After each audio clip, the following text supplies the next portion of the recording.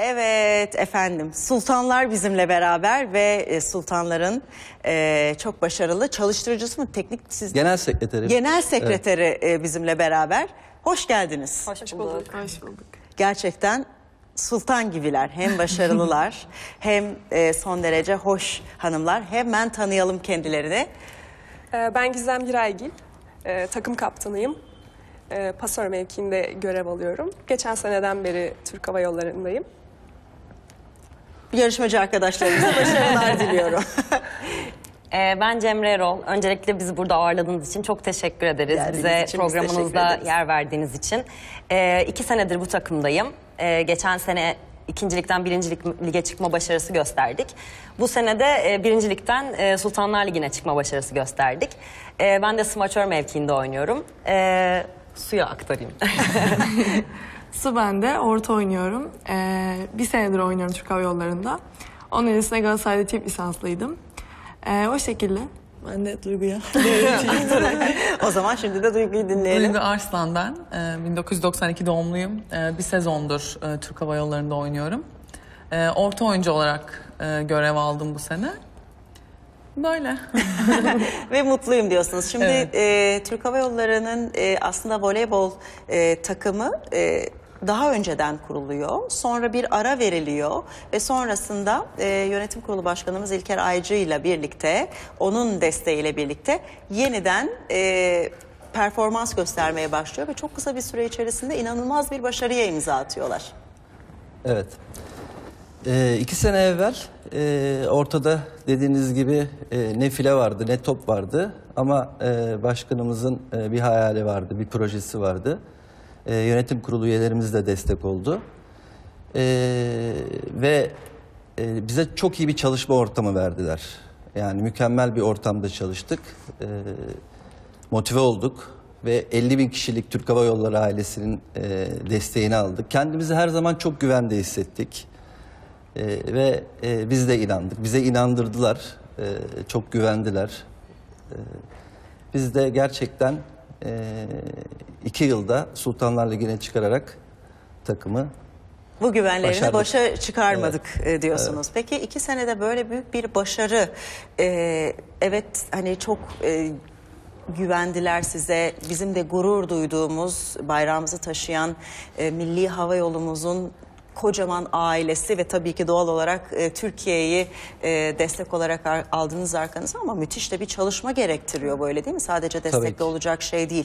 Mesela haftada e, kaç saat e, antrenman yaparsınız? Ne kadar takım olarak çalışırsınız? Ne kadar bireysel çalışırsınız? Yani genel olarak haftada bir gün maç yaptığımız e, sezon döneminde e, beş gün e, idman yapıyoruz. Bunun yani hemen hemen yarısı çift antrenman oluyor sabah ve akşam şeklinde. E, bir günü maç, bir günü dinlenme gibi. Dinlendiğiniz zaman da tabii muhtemelen çok dinlenmiyorsunuz. Tabii çok e, ne yazık ki çok dinlenemiyoruz. Çünkü her zaman bir kere sezon çok yoğun geçtiği için o dinlenme gününü sadece vücudumuzu dinlendirerek e, geçirebiliyoruz. Onda da ne kadar olursa tabii ama Ya böyle şu, şu şekilde. şu, şu şekilde bir durum söz konusu. Evde beni ellemeyin, e, vücudumu dinlendiriyorum. Aynen öyle. Yarın Onda maç var. İşte sosyal aktiviteler yapmaya çalışıyoruz. Mümkün olduğu kadar kafamızı e, uzaklaştırmaya çalışıyoruz voleyboldan. Ama tabii işimiz gereği her zaman full konsantrasyon gerekiyor. Her zaman e, full enerjimizi vermemiz gerekiyor. Hem mental olarak hem fiziken. O yüzden de o bir günlük off bizim için çok hızlı geçiyor ne yazık ki. ne yine bu 24 saatin sonuna mı geldik diyorlar. Bu arada e, kameraman arkadaşlarımız da kızları yakın yakın çekiyorlar. E, hem sporcular hem yetenekliler hem başarılılar bir de voleybolcular pek mi güzel oluyorlar. Ay, çok teşekkür, Teşekkür ederiz. ederiz. Sağ olun. Bakar mısınız hepsi birbirinden edalı, alımlı, e, güzel. Bu ne güzellik.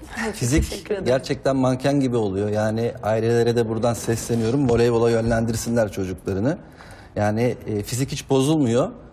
E, uzun, ince, yani manken gibi oluyorlar. Bence e, voleybol e, bir e, hanımefendinin vücudunu en güzel şekillendiren Kesinlikle. spor. Bana göre bu benim tabii şahsi Kesinlikle, fikrim. doğru. Siz de katılıyorsunuz. Evet, çok estetik. muhtemelen. Evet. Estetik. Ne basketbol, ne tenis, ne yüzme hiçbir şekilde voleybolcu vücuduna sahip olamıyor.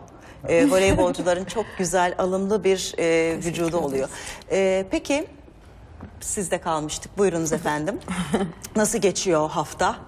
Hafta zor geçiyor. O bir off günümüzde zaten dediğiniz gibi yatarak geçiriyoruz. Onun dışında da yani arkadaşlarımızla vakit geçirmeye çalışıyoruz. Ailemize vakit ayırmaya çalışıyoruz. Öyle geçiyor ama zaten hani diğer beş gün yani takım arkadaşlarımız olduğumuz için hani onu güzel bir şekilde tamamlıyoruz. Takım ruhu ne kadar önemli değil mi? Evet.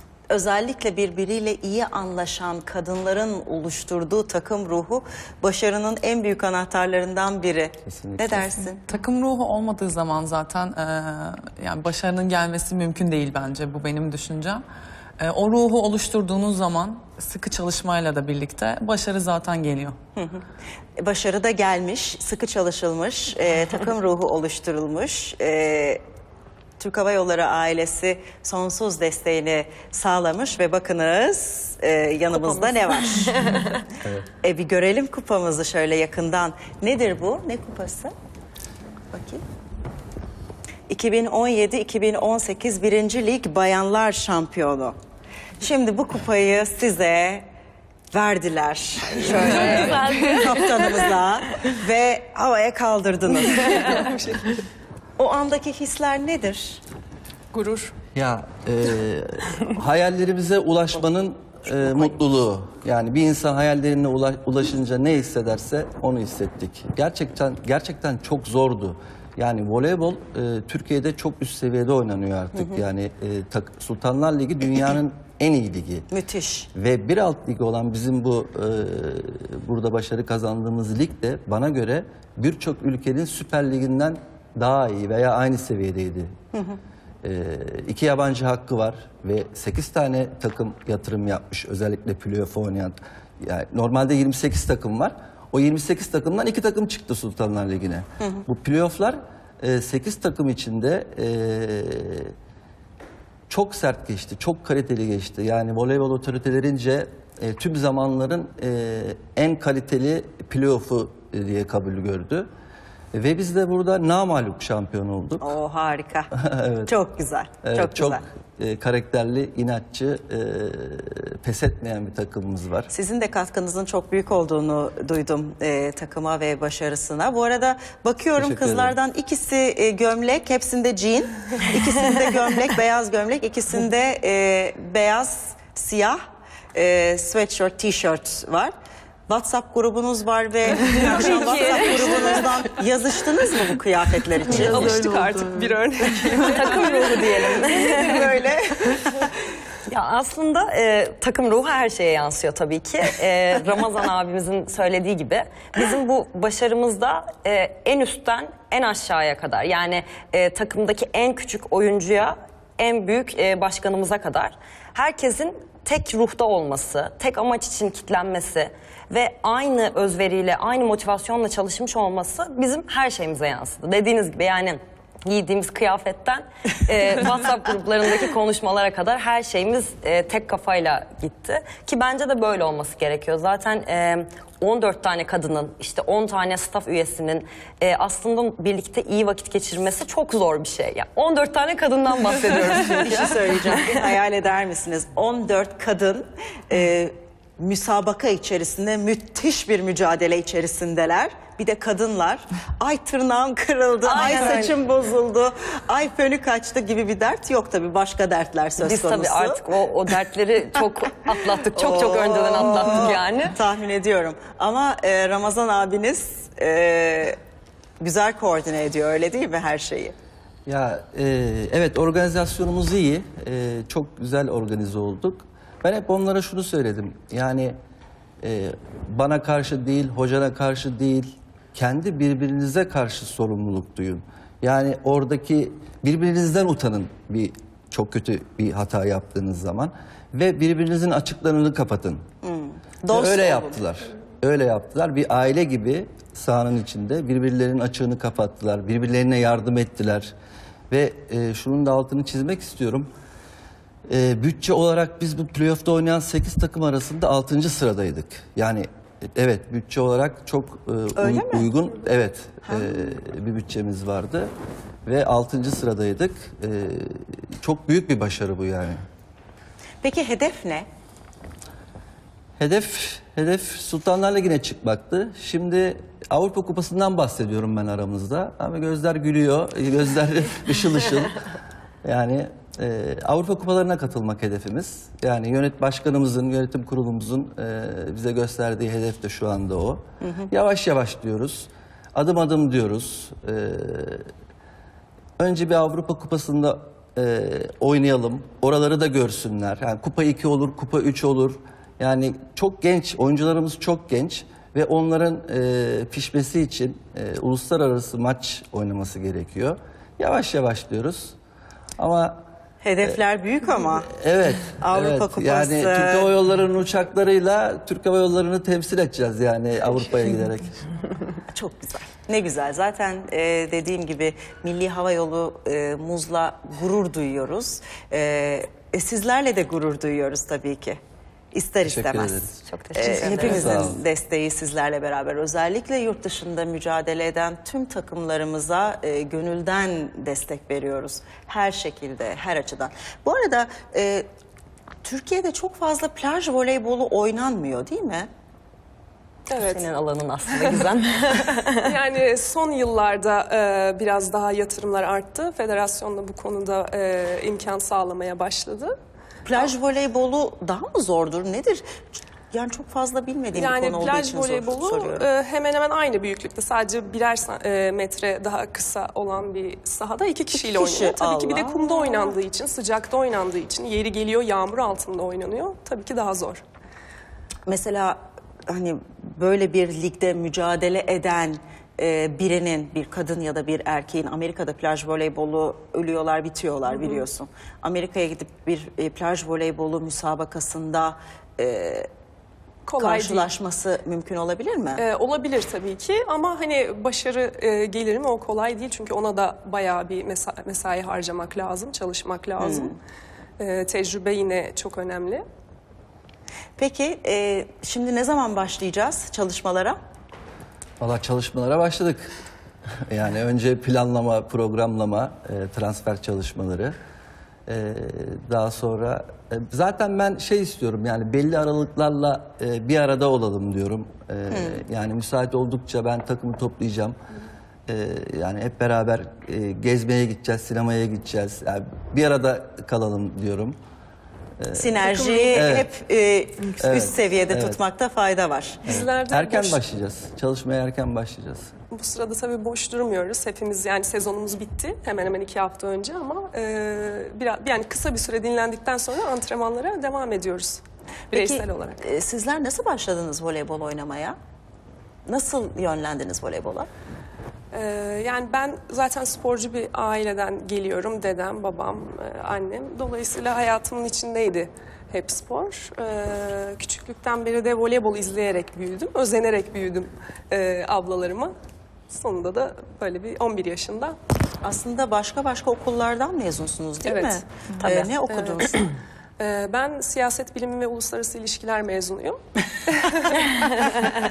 ne olacak bu Amerika'nın diye de bir konuşmaya e, dönebiliriz hemen. Genelde evet söyleyince hep böyle sorular Evet. geliyor. Siyaset bilimi ve uluslararası Evet. ilişkiler mezunusun ama profesyonel anlamda e, Voleybol voleybol oynuyorum. e, Evet, çok kariyerini seviyorum. tercih ettin. Sen? Ee, ben 12 yaşında voleybola başladım. Aslında diğer arkadaşlarıma göre belki birazcık geç başlamış olabilirim. Benim annem de babam da eski milli basketbolcular. Ee, aslında ben spor yapmak hiç istemiyordum. Hiç istemiyordum. Antrenmanlara ağlayarak götürüyorlardı beni. Gerçekten her hafta sonu bir bahane uyduruyordum. Ah, Boğazım anneler, ağrıyor. babalar. Anne gitmek istemiyorum diye. Sonra e, gittikçe, bir şeyleri başardıkça işte ilk başta manşet alarak sonra pas atarak falan kendinin iyi olduğunu görüyorsun. Öyle olunca da motive oldum tabii. Ee, güzel gelişti yani insan birazcık da başardığı işte, keyif aldığı işte e, ilerledikçe zaten daha çok hevesleniyor. O şekilde ilerledi. Sonra milli takıma falan seçildim zaten. Öyle devam etti. Oh ondan sonra Yürüyen kulüp. evet. Ee, üniversite olarak da İstanbul Bilgi Üniversitesi'nde okuyorum. Ben halkla ilişkiler okuyorum. Bu sene mezun olacağım inşallah. Ee, aslında buraya da güzel denk gelmiş. Bizim dördümüz de üniversite okuyan e, sporcularız. Ki bu aslında bir sporcu için yani elit düzeyde bir sporcu için inanılmaz zor Çok bir şey. zor. Ee, çoğumuzun zaten üniversitesi uzadı veya işte e, antrenörümüzden izin al İsmail abi izliyorsa bizi. e, abi birazcık erken çıksam olur mu? Abi sınavım var şeklinde sürekli izinlerle geçti. Diyor mu İsmail abi bıktım sizin bu okulunuzdan. Bize Söyleyin öğretmenlerinize biraz size müsamaha göstersin. İsmail abi buradan sana selamlarımızı ah iletelim. İsmail abi ah. Yani demiştir muhtemelen ama biz de onu e, çok fazla zorlamamaya çalıştık. Ama işte karşılığını alınca çok güzel oluyor. İnsan hem kendini sportif anlamda geliştirmiş oluyor hem de bir şekilde bir bilgi birikimi edinmiş oluyorsun. Yani çünkü spor çok uzun süre gidebilecek bir e, iş değil ne yazık ki. Yani 55 yaşına kadar götüremeyeceğimiz için. Ama sonra da 55 yaşında sporu bıraktıktan sonra dur ben bir halkla ilişkiler firması açayım. O da çok zor. Aslında sporcunun Tabii. hayatı çok zor gerçekten. Tabii çok zor ama işte bu e, dönemlerde de işte mesela ben geçen sene staj yaptım. Yani e, boş kaldım sonuçta bir 4 aylık falan bir antrenman yapmadığımız off sezonumuz oluyor. Bu dönemlerde işte yüksek lisansla devam edebiliriz veya stajlarla kendimizi ne kadar beslersek ne kadar e, Hmm. Yatırım yaparsanız o kadar kendimize iyidir. yatırım yaparsak o kadar iyi olur. Çünkü e, ben özellikle bir kadının her anlamda kendini geliştirmesi gerektiğini düşünüyorum. Sonuçta biz ileride anne olacağız, çocuklarımızı büyüteceğiz. Bak. Bak. Ee, tabii Bak. kadın toplumun direği. Ramazan abi ne diyor? Siz demiyor musunuz? Daha dur kızım daha oho Avrupa ileride, şampiyonası, ileride. olimpiyat şampiyonluğu daha çok yapacak şeyimiz var. Biraz daha ileride o. Aa, evlilik dedi. İleride daha var zaman. Daha çok başarılara Daha el- çok var. Ama işte dediğim demek istediğim yatırım anlamında kendimize. Aslında e, şimdi baktığımızda belki de Türkiye'de bu kadar zor şartlar altında bu kadar başarıya ulaşırken bir de sistemin e, her açıdan sizi desteklediğini düşünsek kim bilir neler neler yapılacak. Çünkü bu kızları düşünebiliyor musunuz? Bir yandan acaba ben ileride spor kariyerini bıraktığımda çünkü spor uzun vadeli değil ne yapabilirim gibi bir şekilde kendilerine yatırım yapmaya çalışıyorlar. Üniversite sistemi desteklemiyor. Bir şekilde profesyonel sporculuğu seçmişler. O kadar zor durumdalar ki aslında sistemin de kendisini sorgulaması gerekiyor bir şekilde. Muhtemelen aynı şey senin için de geçerlidir öyle Evet, değil mi? Ben de 10 yaşında başladım voleybola. Ben de e, okul takımında böyle seçildim. Boyum uzundu. Biraz sıskaydım falan. Bu olur bundan falan dediler. Öyle beni çağırdılar. Oldu. Voleybol takımına. Baktım oluyor. Sonra devam ettim. Ben de İstanbul Ticaret Üniversitesi'nde psikoloji okuyorum. 3. sınıfım. Ama yani Cemre'nin dediği gibi yani ikisini birlikte götürmek çok zor. E, Sistem desteklemiyor, ailemiz destekliyor. İşte antrenörlerimiz sağ olsunlar destek oluyorlar. İşte antrenmandan erken çıkıyoruz, izin alıyoruz falan. Ama hani ikisini birlikte götürmek gerçekten çok zor. E, Sistem çok zorluyor bizi. O anlamda. Seni nasıl zorluyor sistem? Ben mezun olalı, olalı iki sene oldu. Oo, Ee, ben iyi. bu konuda şanslı olanlardanım. Nereden mezun oldun Ee, sen? Aral Üniversitesi Uluslararası İlişkiler e, bölümü mezunuyum. Ee, ben çok şanslıydım dediğim Evli gibi. misin? Evet. Aa. evet hemen yüzüne dikkat ediverdim.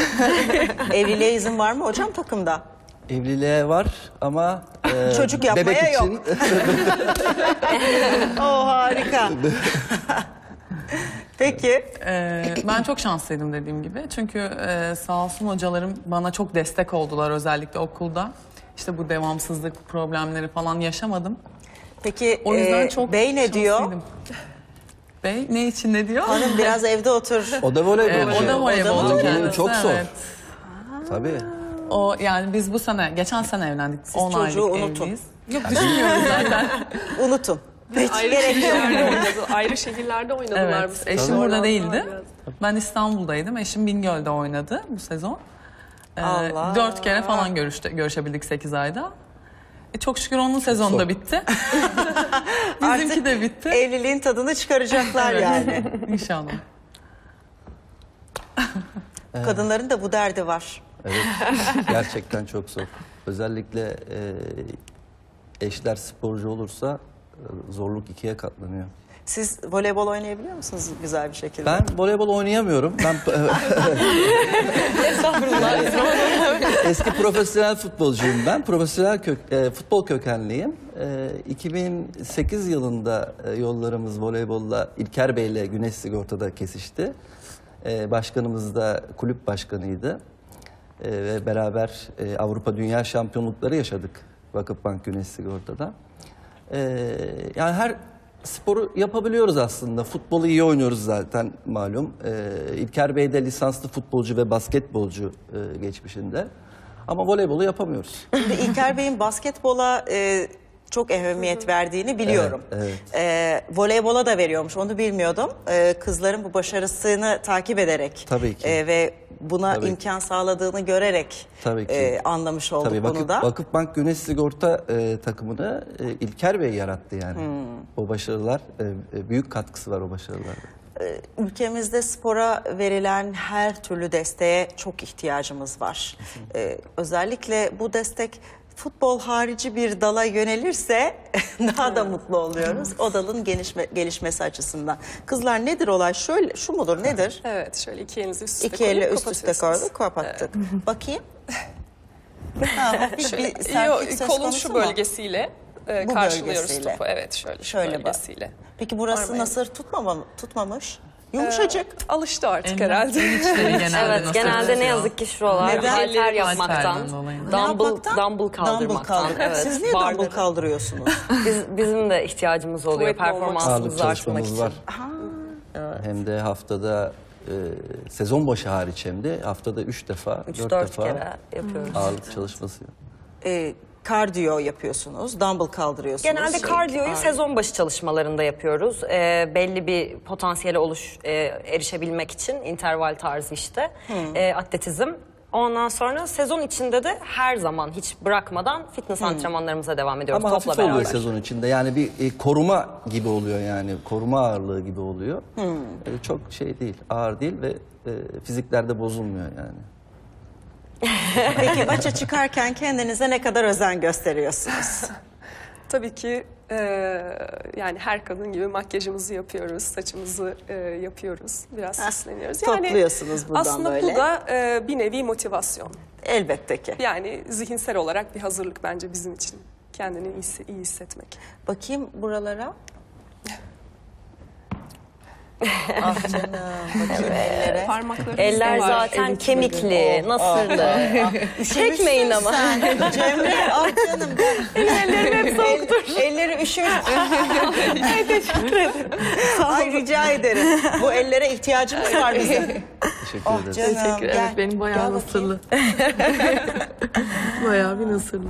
Gel bakayım. Aslında bu Mümkün program birazcık voleybolun yani. artıları ve eksileri yani. Ama yüzde 99 artıdan Tabii ki, bahsettik. evet. Yüzde bir de eksiden bahsedelim değil mi? Aynen öyle. İzninizle. Tabii. Burada İzni aldık hemen eksilerden bahsedelim o zaman. Nedir artıları? Malum.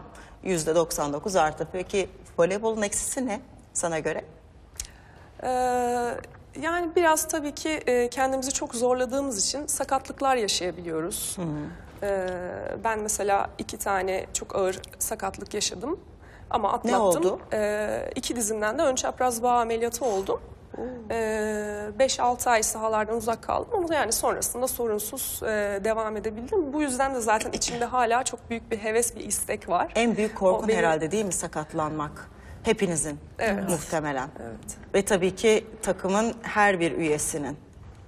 Tabii ki. Cemre sen sakatlandın mı? Ben hiç ciddi bir sakatlık yaşamadım. Yani ufak bilek burkulmaları oldu.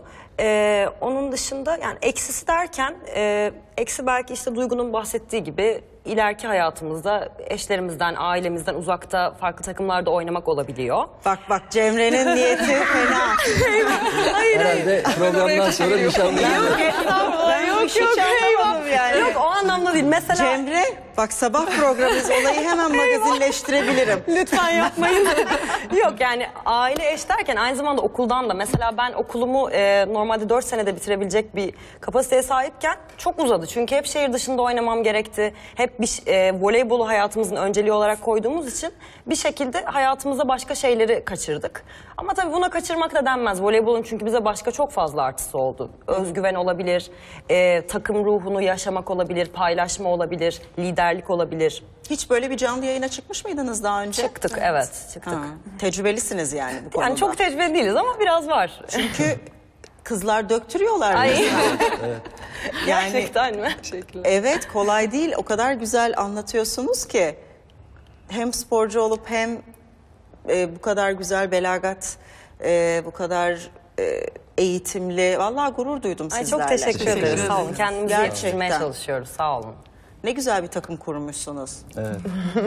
işte e, çok teşekkür ederiz. Siz en başta çok e, kızlarımızı da güzel dediniz. Biz aslında karaktere göre seçiyoruz ama onların iş güzellikleri dışa da yansıyor. Yani e, hem karakterleri hem kendileri bütün takımın 15 kişilik bir aileyiz biz. Gerçekten çok güzel. Hemen kaldığımız yerden devam edelim zorlukları. Evet zorlukları şöyle e, özel hayatınızdan ve kendinizden biraz feragat etmeniz Oraya gerekiyor. girme. Su oraya girme. Bak, bak her an, her an olayı döndürebiliriz. Kendimi tutuyorum. Beni zorluyorsunuz. Şöyle mesela bizim yani benim yaşındaki arkadaşlarım şu an işte üniversite hayatı yaşıyorlar. İşte mesela üniversiteden sonra bir hayatları oluyor. Ee, Geziyorlar, tozuyorlar. Bizim öyle olmuyor. Biz mesela okuldan çıkıyoruz. Direkt antrenmana gidiyoruz. Antrenmandan çıkıyoruz, okula gidiyoruz. Okuldan çıkıp tekrar antrenmana gidiyoruz. Eve gidiyoruz. Yani öyle olduğu için birazcık Bir döngü içinde. kendimizden fedakarlık etmemiz gerekiyor. Aile destekliyor mu e, spor kariyerini yoksa mesela aile şöyle diyor mu? Sen aman e, hani voleybolu profesyonel olarak yap ama bir yandan da muhakkak eğitimini tamamla ki Allah muhafaza bir sakatlık, bir işte hani herhangi bir durum Annemi olursa tarif ettiniz şu an. Annem hiç, annenin sesiyim ben. Hiçbir zaman e, nedense istemedi voleybola başlamamı da istemedi, oynamamı da istemedi ama hep babam daha destekçim oldu. Annem belli bir süre sonra hani kabullenip tamam madem oynayacaksan oyna illa bunu oynayacaksan oyna ama mutlaka eğitimini de al. Altın bileziğini de tak Evet. koluna dedi mi? Bu cümleyi kurdu Dedi, mu? dedi. dedi değil mi? Peki e, evliliğe ne dedi? Voleybolcu olmanı istemediyse voleybolcu ile evlenmene ne Oralara hiç girmeyelim o konuya. Aile faciası yaşamayalım. Onda bir sıkıntı çıkmadı çok şükür ya. Zaten eşini seviyorlar. Evet. İyi, çok güzel, çok sevindim. Eksiler, Sizin ne dediler? e, yani eksiler artılar oluyor tabii. E, ama biz hep iyi günleri de kötü günleri de beraber yaşadık. Beraber üzüldük, beraber sevindik. E, yani şu voleybol spor çok önemli. Yani özellikle biz kendi altyapımızda ve takımımızda e, bir okul gibi görüyoruz. Yani eğitimin yanında öğretim de. Yani bilgi, şu zamanda her yerde bilgi var. Bilgiye ulaşabiliyorsunuz. Bilgi kolaylaştı. Ama etik değerler, etik değerler çok daha önemli oldu. Biz e, bunu veriyoruz. Yani özellikle spor okulumuzda, altyapımızda bir maçtan sonra e, kaybetsen de kazansan da doğru davranışı sergileyebilmek bu çok önemli. Bunun için Centilmenlik uğraşıyoruz. ruhu değil mi? Evet doğru davranışı sergileyebilmeliler yani. Yaş kaç olursa olsun. Gidip el sıkmaktan mı bahsediyorsunuz? Ya evet yani aşırı sevinç bile e, ra- rakibe karşı bir saygısızlık gibi e, algılıyoruz biz. E, mütevazi bir şekilde sevincimizi de yaşıyoruz. Evet, çok zarif. üzüntümüzü de beraber yaşıyoruz hep beraber. Bu- bununla Tebrik ilgili ediyoruz bir şey söyleyebilir rakibimizi. miyim? E, bizim için çok önemli yani.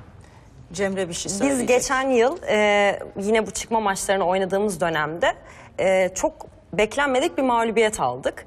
Ve bu mağlubiyetten sonra gerçekten kendimi yerin dibine gömmek istedim. Yani o kadar üzüldüm, o kadar utandım ki e, Ramazan abinin mesela bize o maçtan sonraki konuşmasını unutamam. Ben dedim ki herhalde şimdi bizi mahvedecek. Yani çok kızacak, çok kötü şeyler Eyvah. olacak. Fakat Ramazan abi Eyvah. soyunma odasına geldi ve bize dedi ki hepinizle teker teker gurur duyuyorum. Aa. Ee, son bir tane daha maçınız var. Bu maçı kazanacaksınız. Bunu atlatacağız hep beraber dedi ve yani gerçekten ben orada belki yönetici olsam benim tepkim daha farklı olabilirdi. Çünkü ben kendimden gerçekten nefret ettim o maçı kaybettikten sonra. Gerçekten e, bazı şeyler, takıma yansıyan şeyler bence yönetimden yansıyor. Hani e, biz ne güzel. kadar centilmen, ne kadar e, etik olursak olalım sonuçta üstümüzdeki insanlar bunu göstermediği sürece biz de bir yere kadar olabiliriz. Ama e, Ramazan abinin böyle bir davranış sergilemesi bizim daha da motive olmamızı sağladı ve bir son maça inanılmaz bir e, şevkle çıktık yani. Ramazan kazandılar. abi Ve aslında kazandık. e, Türk futbolunun nasıl e, sulh ha ereceğinin formülünü göstermiş. Cemre de onun altını çizdi. Bence aslında e, bu sürekli tartışılan işte Türk futbolundaki bu e, gerginlik, bu nefret söylemlerinin aslında en büyük çözüm noktası sizin e, Kesinlikle. Takıma davranışınız. Benim fikrim. Peki Kesinlikle. bireysel anlamda hata yaptığınızda ne oluyor? İçiniz içinizi yiyor mu? Bireysel hata ve takım kaybediyor. İşte diyorum yani onlar o birbirlerine sorumlu, birbirlerinden utansınlar. Şöyle oluyor. Mesela bir hata yapıyoruz. O hatadan sonra böyle bir zaten mod olarak düşüyoruz. Ve bunu olduktan sonra tekrar hatalar üst üste geliyor. O sırada ama bir yani takım arkadaşınızın şu bir el bir dokunması bile Yanındayım, o kadar problem evet değil, biz destek de veriyor ki yanındayız evet ya biz onu sağladık. Çok teşekkür ediyorum bizimle birlikte olduğunuz için. teşekkür İyi ki geldiniz. Teşekkür ederiz. Çok Harikaydı. zarifsiniz. Her şey için Evet, sağ olun. çok teşekkür ederim. Siz de öylesiniz. Gerçekten gurur duydum. Başarılar diliyorum. Umuyorum ki bütün hedeflerinize ulaşınız. Umuyorum ki büyük şampiyonluklarla da ağırlayalım sizi e, uluslararası boyutta. E, bu arada hem e, O zaman siz yine geleceğiz. ne zaman isterseniz kupalarınızı kapın kapın gelin. Ee, yine size bu imkanı e, sağlayan ve takımı yine bir araya getiren e, Türk Hava Yolları Yönetim Kurulu Başkanı İlker Aycı'ya çok teşekkür ediyorum. Ve sizi bizimle buluşturan Türk Hava Yolları basın müşaviri Yahya Üstüne keza çok teşekkür ediyorum. İyi ki geldiniz geldiniz. E, büyük başarılar. Çok, Çok teşekkür, teşekkür ederiz. Sağ olun. Kısacık bir ara vereceğiz ve bir fenomeni ağırlayacağız. O halkın sesi ve müthiş bir fenomen. Ee, ben de çok merak ediyorum. Ee, kendisini tanımak için sabırsızlanıyorum. Kısacık bir aranın ardından. Müzik